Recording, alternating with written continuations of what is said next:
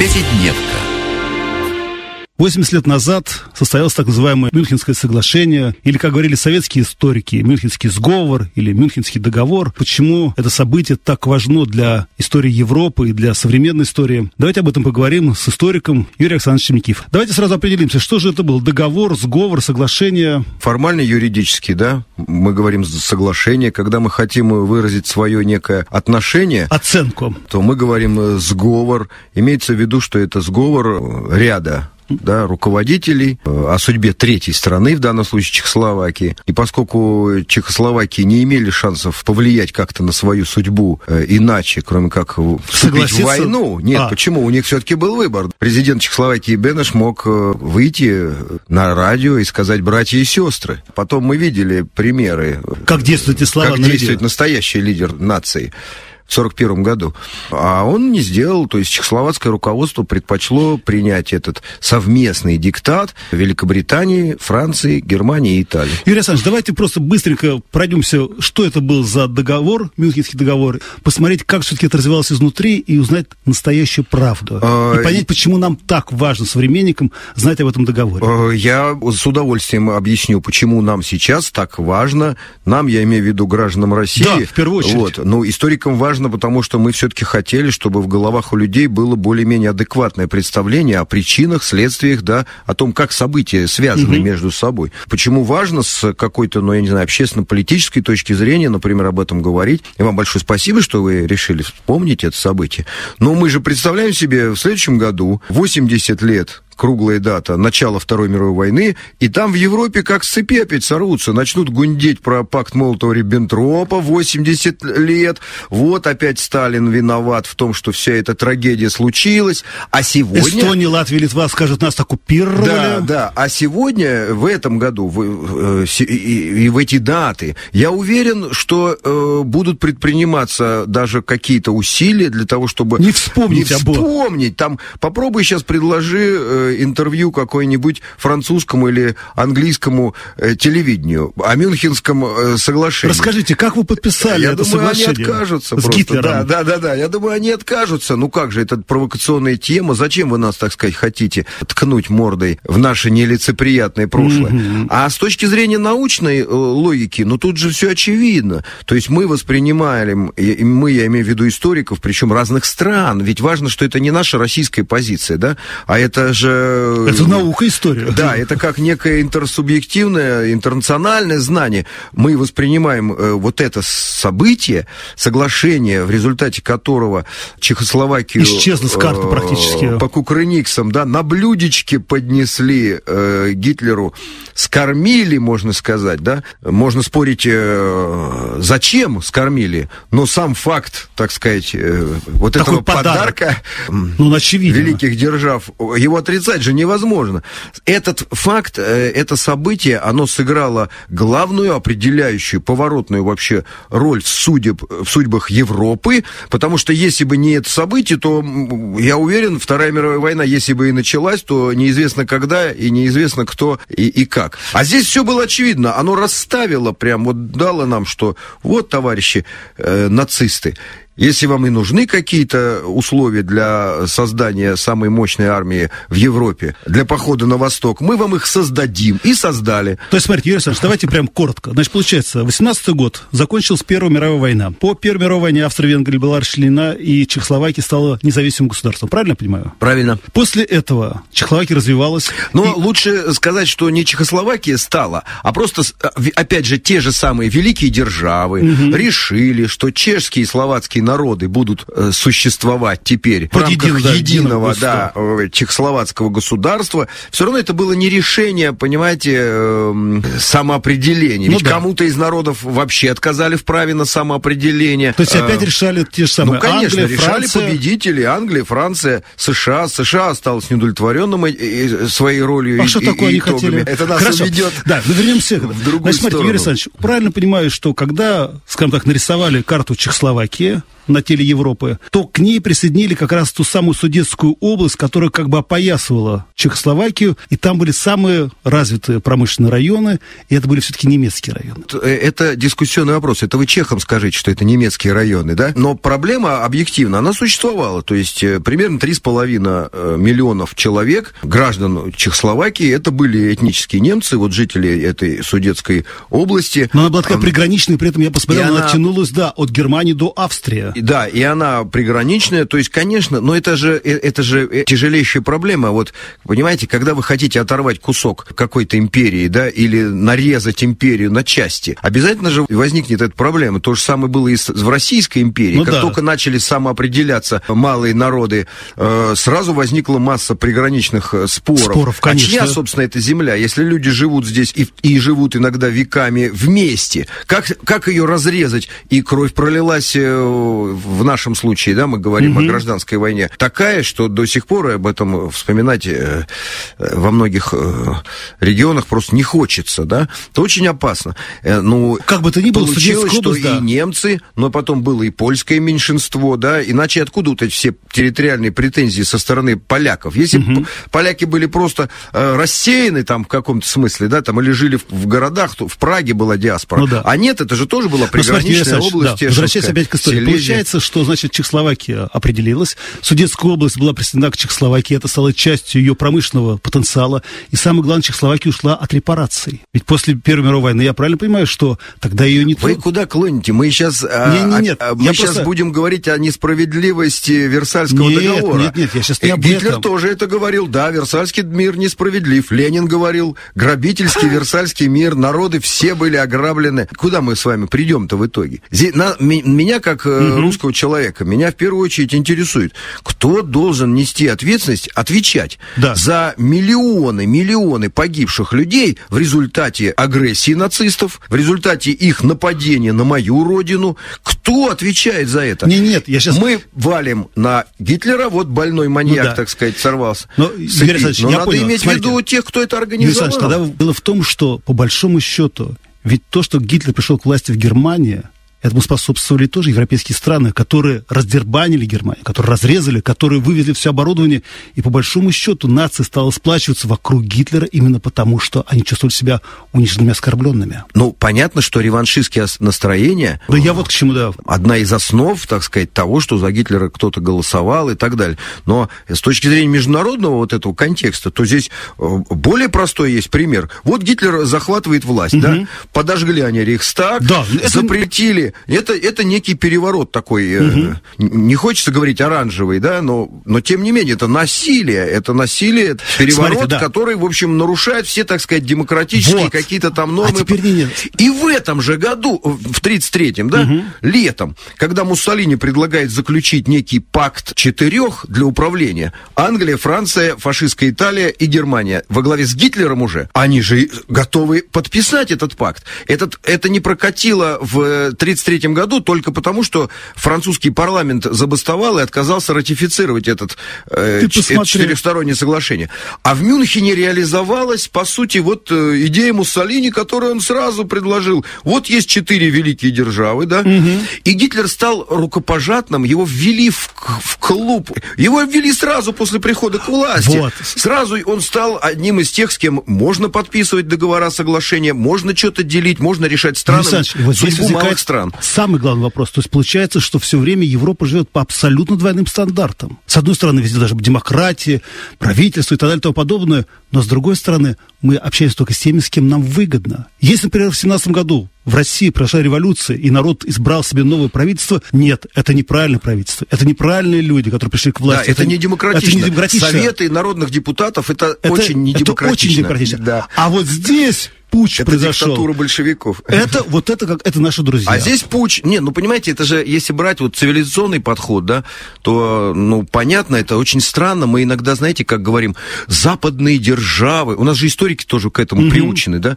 Западные державы, они вот отказались вести переговоры со Сталином, а Гитлер, подождите, Гитлер это не западные державы, это что, восточная, да. китайская что ли, да? Что то это за держава? Даже в языке есть некая, так сказать, вот э, внутренняя граница Поэтому более грамотные люди, они, конечно, добавляют западные демократии, угу. а тут вот в Германии тоталитарный режим. Ну и на этом построена вот эта абсолютно спекулятивная теория, которую стыдно было даже в, в годы холодной войны озвучивать, потому что миллионы участников этих событий, кто видел это своими глазами, понимал, что это бредовая идея. Раз в Германии тоталитарный режим, в СССР тоталитарный режим, вот они вот вроде как э, сущностно, между ними какая-то близость. А между Великобританией и нацистской Германией эта близость отсутствует, там цивилизационная пропасть. А то, что Гитлер напрямую списывал какие-то вещи из опыта, например, существования британских э, элитарных школ для воспитания да. молодежи, да, и вообще все эти немецкие нацисты, они просто вот впитали, так сказать... Э, да и английские нацисты, которые все время говорили, да, да, да. Это уже никому даже рассказывать бесполезно, потому что вбита в голову некая матрица такая, да.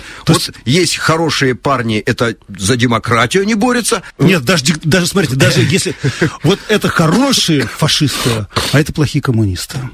Ну, сейчас они ну, да. по-другому да, делают. Конечно. Да, они говорят, коммунисты и фашисты это близнецы-братья. Только любой человек, который учился в школе, он может просить э, на уровне обыденной логики, а что тогда коммунист, э, фашисты, не, нацисты, да? Почему они своим главным-то врагом? Угу. И это же было явлено в практике, когда комиссары, э, комиссаров убивали, отделяя от наших военнопленных в первые дни войны.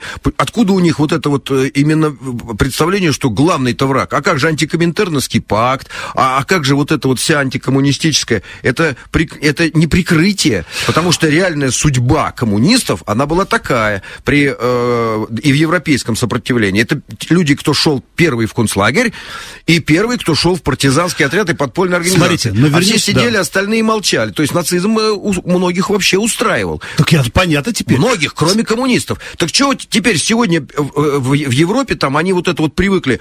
Фашисты, коммунисты, надо символику запрещать фашистскую коммунистическую коммунистскую. Два главных врага, понимаете, антагониста в, в тот исторический период. А сегодня пиар-технологиями их вот загнали в такую вот... И смотрите, вот мне нравится, что вы находитесь на правильной жизненной позиции. Удивительно еще одна вещь. Когда, понятно, Гитлер начал просто шантажируют всю Европу. Мы нападем, мы отберем Судетскую область у чехов, мы сейчас начнем войну, и все сказали, ой-ой, только не война, только не война, не бросать нас в терновый кустик. Удивительно, знаете что? А на какой территории проходили переговоры этих четырех сторон? Могли выбрать Париж, могли выбрать Лондон или вообще Швейцарию? Нет, они все приехали в Мюнхен. Сказали, здравствуйте, гости дорогие. Здравствуйте, Адольф, как его там по отчеству, не помню. Алаизович. Алаизович. Но... А вы знаете, на чьей территории проходят, проходят переговоры, тот и является главным. Нет, ну это понятно, но тут просто ну, Чеберлен, он же еще из этого спектакль хотел сделать, понимаете? Он хотел выступить в роли миротворца, он хотел э, премьер-министр Великобритании. Mm-hmm. Он еще немного разыграл, чтобы именно в последний момент вот Гитлеру кинуть, я сейчас приеду, я вот разрулю ситуацию. Он же хотел играть роль э, миротворца для всей Европы, разруливающим там mm-hmm, какой-то mm-hmm, конфликт. Mm-hmm. Но ему удалось выглядеть таковым в глазах э, английского обывателя. Но... Я привез вам мир. Да, я при... они там устроили ему овации. Гитлер слегка разочаровался в немецком народе, как представляется, после Мюнхена, да? Угу. Потому что его не оружием, э, немецкий народ же тоже обрадовался, что не будет войны. Ну, конечно. А Гитлер-то считал, что настоящий-то ариец это как раз тот, кто э, для кого война это жизнь, это, ну, да. это средство, так сказать, Движение, выживания, да, да. движения, да. Вот это вся эта фашистская мифология, она же построена на том, что война это естественно для настоящей человеческой, так сказать, Но, смотрите, высшей расы. Отложим сейчас сторону этот Мюнхенский договор, меня удивляет еще позиция одной страны, которая постоянно и в последнее время тоже тычет в нас пальчиком, это Польша. Интересно, думаю, а как же так произошло, что когда все-таки Чехословакия начал думать о том, чтобы Советский Союз помог им разрешить этот конфликт. Будем, будем поляков ругать.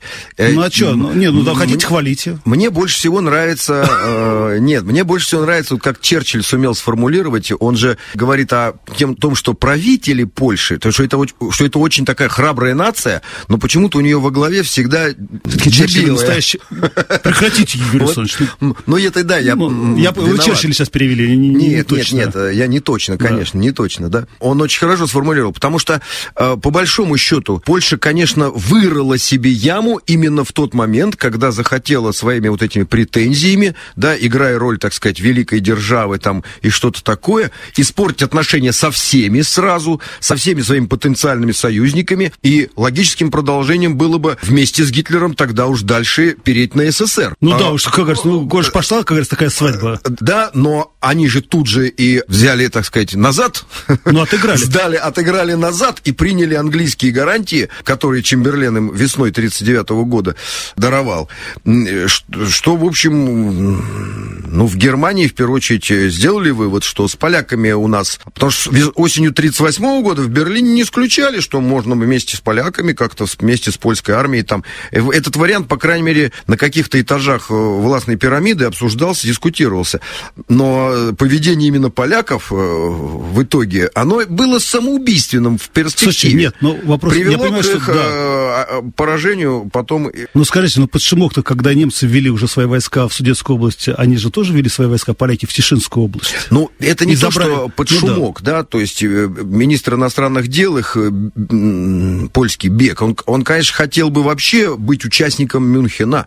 Он хотел... Ну, да, да, да, чтобы... Вот эти некие амбиции, претензии на участие в клубе великих держав польские, а, когда они поняли, что их не пускают на равных участвовать в этом, тем не менее, они решили самостоятельно, ну что же, мы же гордые поляки, великая нация, самостоятельно предъявим свой ультиматум чехословацкому правительству. Здесь Черчилль назвал это с жадностью гиены, да, имея в виду, он был все-таки мастер вот находить литературные образы, да, с жадностью гиены откусили, а гиена, она чем занимается-то? Ну, да, да. То есть понятно, на что, на что это намек. Скажите, Но да. поляков в данном случае, именно что сожаление у меня эта вся история вызывает, поскольку речь идет, конечно, о глупости в данном случае и близорукости какой-то вот этих пилсудчиков, кто даже после смерти Пилсудского, амбиции у них остались те же, что у Пилсудского, понимание вообще, да, и политического mm. чутья, и ума в конечном счете, у них было, ну, недостаточно, вот так сформулируем. Хорошо, идем дальше. Итак, понятно, что Гитлер э, говорит, я заберу Судетскую область, чехи, естественно, против. Между прочим, у нас договор с чехами, ну, Чехословакии, правильно. Да, у, Чехословакии, да. у Чехословакии договор с Францией, с Англией. Если что, помогите. Чехословакии и Франция говорят, нет, нет, нет, делайте все, что хотите. Подписывают договор. Поляки не пускают наши войска. Ну, по крайней мере, говорят, мы войска не пропустим. Хотя румыны говорили, ладно, если что, пропустим. Но ведь Бенеш, это президент Чехословакии, так и не попросил помощи у Советского Союза. О чем просил его Сталин, говорит, попросите, скажите, ну, чтобы было официально, скажем так, официально. Или это не так? Это, э, это так, да, но правильно, то есть э, совет, здесь нам важно зафиксировать позицию Сталина. Она э, основывалась не на каком-то альтруизме, понимаете? Нет, нет, нет, это понятно. Независимая Чехословакия, а, а, существование ее на карте, оно гарантировало для нашей страны, что войны в ближайшее время не будет. Не, вообще перспективе. Гитлер не сможет ее развязать, потому что Чехословакия, а, по своей армии она примерно сопоставима с тогдашним вермахтом. Угу. Раз. Значит, без заводов Чехословакии. А без это ее... была самая крупнейшая промышленная держава тогда Европы, Чехословакия. Ну, она ну, входила в шестерку, но если э, э, по, по объемам, но если брать вот э, военную промышленность, понимаете, то, например, Румыния, такие страны, как Румыния и Югославия, угу. они вообще не могли иметь никакой, вооружить свою армию без чехословаков. У них поставки были так, таковы, что что э, все военное снаряжение, э, по сути, э, они закупали просто у чехов и все. Э, если брать э, объемы вот этих стран э, балтийских, да, независимые mm тогда, Латвия, Литва, Эстония, Польша, э, 11 стран до, до Греции, понимаете, вот это Центральная и Восточная Европа. Э, Чехословакия, она производила э, больше, больше военной продукции и больше вообще продукции машиностроения, в, принципе, чем эти все страны вместе взятые. Э, я даже помню, в какой-то книге видел э, цифру, не, не могу сейчас вспомнить, угу. что железо Чехословакия выплавляла в два раза больше, чем Италия. Mm. И вот и это все подарить Гитлеру, понимаете, это, а помимо всего прочего, это же э, не просто промышленность, а это же доступ к сырью, да, это, э, это, Но, это. Если мне не изменяет память, то, по-моему, пятая часть э, немецких танков, которые напали же на Советский Союз, это были чешские танки. Это, ну, это, это потом, да, но просто ну, вот да. я думаю, как вот можно было Гитлеру вообще развязать войну, напасть на кого-то, если э, сам э, некая эвентуальная, как э, дипломаты в то mm-hmm. время говорили, да, теоретическая возможность в перспективе, что вот есть некие, так сказать, страны, которые, а, не участвуют, б, не помогают, или участвует против него. Чехословакия, она такой мост между СССР и Францией, например, да, и не надо было Сталину свою армию э, а, загружать в Чехословакию, границ-то нет, Границ вот не Польша да. не пропускает, но если бы мы авиацию туда отправили, только авиацию, вот пролет авиации с территории Чехословакии, Гитлер ее называл аэродромом, угу. с, э, с, э, так сказать, вражеским аэродромом. Ну, да, да. Потому что с территории Чехословакии можно бомбить любой объект на территории Германии, что французская авиация, да. что советская авиация. Не нужны сухопутные операции. И э, сосредоточить свою сухопутную армию, например, против Франции при существование Чехословакии на карте. Гитлеру было бы невозможно, рискованно. Поэтому, когда на Нюрнбергском процессе Кейтеля, одного из подсудимых, да, угу. а, а это все-таки э, один из главных, да, ну, и главный да. руководитель, э, помимо Гитлера, вермахта, его спросили, а вы бы напали на Чехословакию? Вот план же был, Грюн, там ну, все. Да, да, да. Вы бы напали, если бы... Он говорит, конечно, нет. Даже если, даже если бы была просто дипломатическая, дипломатическое осуждение, и нам бы заявили, что нет, мы вам не дадим, мы бы, конечно, не могли начать войну, потому что это было э, для нас самоубийственным бы шагом. И весь этот план э, Гитлера, он был рассчитан на, как раз на тот сценарий, который, может, он больше знал, чем мы, мы, мы до сих пор знаем, да, Гитлер. Он, потому что он был уверен, что руководители Англии и Франции самое интересное, что англичане и в историографии, они придумали для себя объяснение. Нет, слушай, объяснить всегда можно. Почему так? У нас было недостаточно авиации, чтобы тягаться с... Мы были не готовы к войне. А кто вас просил воевать-то в 1938 году?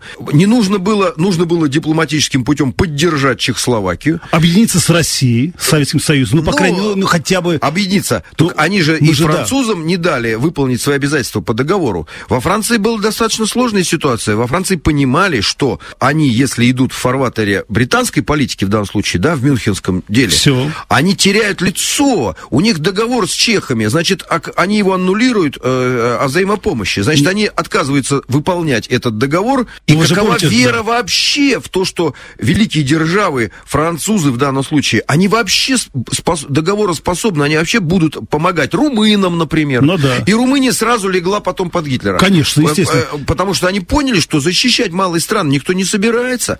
И все договор это фикция. А бумажка. попроситься под мягкую руку Но... Ну. с Кремля.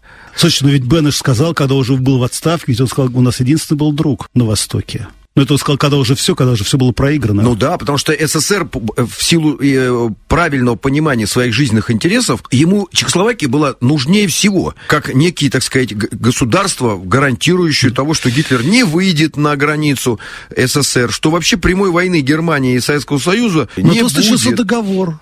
Договор между нашими странами Франция, Англия, Италия и Германия. Да, но вот этот Мюнхенский да. договор, он кардинально изменил да. баланс сил, и в итоге мы его рассматриваем как, ну, называет его апогей политики умиротворения. Но надо человеку объяснить, что такое политика умиротворения. Это То есть надо рассказывать всех. об Испании, Конечно. о том, как Испанскую республику сдали фашистам. Надо рассказывать о Эфиопии, которую Муссолини сдали. Мол, может быть, они займутся там э, ну, в Африке там воюют, да. Главное, чтобы в Европе не было войны. Юрий Александрович, а скажите мне, пожалуйста, вот я сейчас не могу вспомнить, но мне что-то вот, ну, что-то у меня какое-то есть фантомная память. А что там произошло с Клайпедой, прям сразу после того, как все это случилось? И там тоже много жило немцев. Это же Литва, по-моему, Клайпеда, да? Ну, да, но... Э, э... И немцы пришли туда и сказали, говорят, а Клайпеда теперь наша тоже. Это ультиматум, но это уже событие следующего года, ну, да? Я, нет, но все равно... Нет. Нам важно показать причину следственную связь. Да, нет, нет, вот я... Гитлер в 1939 году, когда оккупировал Чехию и из Словакии ну, да, сделал марионеточное государство, якобы вот оно. Хотя понятно, что да, это понятно, да. а, оккупация и все. Потом словаков этих погнали воевать против СССР. Когда он дальше предъявляет ультиматумы Литве, когда, ну, то есть на Прибалтику давит, когда он предъявляет Польше ультиматумы, он вообще уже не оглядывался на... Ну, вообще ни на кого уже, авторитетов не было. Великие державы, Францию и Великобританию, потому что он уже, его военный потенциал возрос. Они наращивали после Мюнхена за счет чехословацкой промышленности, а, а Германия наращивала такими темпами э, свое ну, вооружение, развертывание армии, что они не могли эти темпов достичь никак. Сколько кредитов им не надавай в обычной ситуации, да? да? То есть, mm. получается, что это был спусковой крючок, когда 38 год? Спусковой крючок. Я вообще считаю, что нам давно пора отказаться от привязки даты mm. начала Второй мировой войны 1 сентября, 1 сентября 39 года. Китайцы так не делают, да? Японцы так не делают. А, потому что они прекрасно знают, что сами они несли миллионные уже потери, начиная mm-hmm. с 31 года, когда Манчжурию Японию да, захватила, да, да, да. а с 37-го там вообще шла полномасштабная война. Это агрессия началась. С 37 года открытая война. И самое интересное меня до сих пор удивляет, а когда же мы в России, ну, лучше сказать, ну, в да, СССР, да, СССР, да, да, в СССР, Точнее. согласились считать 1 сентября датой начала Второй мировой войны? А вот чем занимаются потому что, наши, да? Потому что, дальше вот интересно угу. рассказываю, Сталин, выступая на съезде партии с а, докладом, да, отчетным докладом в 1939 году, это было в марте 1939 года, 10 марта, он, как само собой разумеющийся, анализируя международную обстановку, присутствующим сказал, э, империаль... вторая империалистическая война, он ее не называл мировой, да, да. вторая империалистическая война захватывает в свою орбиту все больше, больше, больше стран, уже сотни миллионов людей. Он имел в виду, что больше два года, он прямо говорит, она идет уже два года, имея в виду э, японо-китайскую ну, войну, да. да, и имея в виду вот эти все переделы границ, э, испанскую гражданскую войну. И возникает вопрос, Сталин сказал, как в фильме э, Слушай, значит, надо встречи, да. старший вам сказал, нам же внушают, что для Столова Сталина для всех историков закон. Я пошел спрашивать да. э, у людей э, преклонного возраста, и один, один выдающийся наш историк, не буду называть его фамилию, все-таки было давно, он же скончался, он вдруг задумался и говорит, а действительно, я когда поступал после э, войны э, в, в институт, нас не заставляли учить дату 1 сентября. Я что-то не помню, чтобы я ее зубрил тогда для сдачи экзаменов там и так далее. То есть была другая дата, были другие, скажем так, вехи? А, э, я не знаю, что там было, но мне интересно, когда в СССР согласились считать то есть, смотрите, 1 то есть мы пошли на поводу датой... у когда этот дискурс был принят, ну, да. да э, при Хрущеве ли, ну, скорее всего, а да? скорее всего, при нем. Сталин помер. А, а, потому что это сдача, э, парадигмальная сдача просто позиции. Одна, да, одна и получается... из симптомов сдачи вот нашей, смотрите, своего нет. суверенитета. Право на интерпретацию истории так, как Юрий Александрович, и поэтому теперь нужным. все европейские историки говорят, вот она, вот он конфликт Германии, Советского Союза. А на самом деле конфликт лежал совершенно в другой области. И разжигали костер совершенно другие люди. Ну, и тем самым, когда мы говорим о том, что дата это 1 сентября, мы, к сожалению, сами подставляем свой исторический бок. Ну, мы можем, в принципе, а понимаете, тут же нет большого, не было бы большого, так сказать, э, греха, но есть некая научная дискуссия, что важнее, Дальний Восток, да, для мировых событий, или вот э, в Европе, Европе ну когда да. началась война. Американцев вообще не совершенно У нас же вообще евроцентризм, это с Петра Первого, ну, где-то на подсознании, как идеология э, Да, кстати, несмотря на то, что заложен, большая да? часть нашей страны это Азия. Да, несмотря на то, что большая часть нашей страны, она вовсе не в Европе, да, но тем не менее евроцентризм центристский этот подход доминирует. Но вот это а, а, обижает-то, или, я не знаю, озаб... вызывает озабоченность именно политизация. То есть мы понимаем инструментальный характер. Им нужно, чтобы во... Вторая мировая война началась это после по... соглашения Сталина с Гитлером. Да. Вот это... Не после их соглашения Когда они все сдали, когда они разрешили делать все, что угодно. А у них было много соглашений, ведь не только же это. Слушай, я на самом деле И... понимаю Сталина теперь, как, когда после всех этих... удобнее морочить людям голову вот этой вот схемой, что Сталин во всем виноват, что это главный злодей вообще мировой истории, что от него все беды. Уже один министр там э, Литвы договорился, что в Холокосте виноват тоже Сталин. Понимаете, ну, ну песчаный карьер все. тоже я. Они говорят сейчас в Европе такие глупости, что образованному человеку смешно. Но на самом деле это свидетельствует просто о деградации. Э, нет, с одной если стороны, была деградация. Э, с, с одной стороны, нет, ну, безответственность. Я в этом да. смысле деградация. Ну, да. Не в том смысле, ну, что да, они да, историю да. плохо знают, а в том нет, смысле, что безответственность. Можно историю. говорить все, что угодно, и тебе за это ничего не будет. Э, не стыдно, что ли? Любой такую чушь молоть? На, на самом высоком уровне парламентских ассамблей, там, ОБСЕ. Не стыдно. А, а с другой стороны, это говорит о, о крайней степени политизации. Вот насколько это кому-то сегодня важно. Вот не просто Россию, так сказать, там, ну, да, да, сказать, нет. что вот у нас... Э, это значит шельмовать. Э, Хороший, да, простой... шельмовать, хорошее слово. А и через историю все время показывать, что, мол, вы... Вот, вот они, вот они какие. Да, всегда вы э, какие-то не такие. Но мы знаем, что мы не такие. Ну, просто удивляешься... История все равно срастает по своим местам. Когда наши граждане, понимаете, наши вот, граждане... К сожалению. Вдруг начинают э, терять разум и начинать говорить, ну, Сталин виноват в развязывании Второй мировой войны. Смешно. Юрий Александрович, но вот здесь... обидно. Понимаете, в чем дело? Вот вы сейчас искренне и очень ярко рассказываете об этих событиях и говорите это от сердца. Я вам верю, я хочу перепроверить, например, ваши исторические данные и так далее, но я возбужден. Очень часто, к сожалению, истории рассказывают, как уже нечто состоявшееся, а самое главное, люди, которые бывают страстными, они могут совершенно спокойно переврать все факты, но говорить об этом страстно, и люди ведь поверят, что этот враг, этот негодяй, Почему мы о своей истории, которая на самом деле такая яркая, красивая, почему мы иногда не говорим так же, как вы сейчас? Почему наши многие историки соглашаются или, по крайней мере, не вступают в открытую полемику? Да мы, мне кажется, нет, вы, вы нет, зря. Да? Мы стараемся, мы делаем, мы круглые столы проводим, мероприятия, выступаем по Кто об этом знает? в интернете. Так э, здесь другое. Э, э, понимаете, здесь другое. Вот э, кому-то из наших радиослушателей, допустим, сейчас не очень нравится то, что я говорю. Послушай, э, человек залезает, человек залезает э, в э, энциклопедию электронную, тут же в телефоне гуглит и смотрит. Так сказать, и вот, допустим, не... неточная формулировка, можно было бы построже сказать. Ну, да, да. Черчилль не говорил слова, да, которое который ну, я да, да, да, вначале это он приврал. Черчилль по-другому, более корректно выразился. Можно же легко проверить, но когда у людей не возникает желание, желание, ну ругайте, правду. да, ну ругайте, вот сколько можно ругать этот пакт Молотова-Риббентропа?